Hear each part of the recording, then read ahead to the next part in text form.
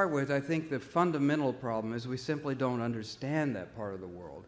And we don't have a comprehensive understanding of what is meaningful to them. And an example of that is um, after, you know, when Saddam Hussein invaded Kuwait in 2003 and his, uh, massed his million man army on Saudi Arabia's border.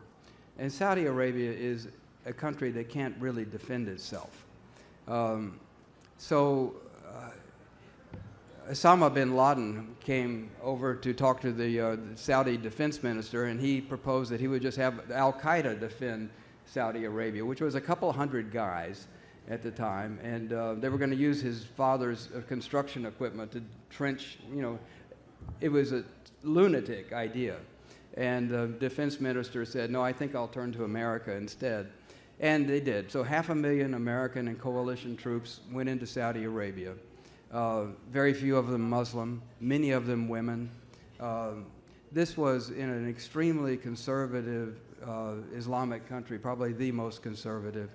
And uh, seeing American women soldiers driving Jeeps and Humvees, this was a total revolution in thinking in Saudi Arabia. And many many very conservative Muslims believe in a hadith, uh, one of the sayings of the Prophet, um, that on his deathbed, the Prophet Muhammad said, Let there not be two religions in Arabia.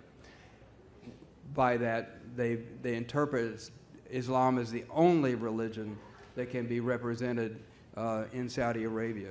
This, so having non believers having female soldiers in the country was inflammatory to their sensibilities. And we promised to get out as soon as we finished up with Saddam Hussein. We didn't. Uh, the Saudis had given us wonderful bases and great accommodations. There were other American bases in the Persian Gulf that we could have retreated to, but it was just why bother? Know, the reason why bother is because it was a, a huge talking point among radical Islamists.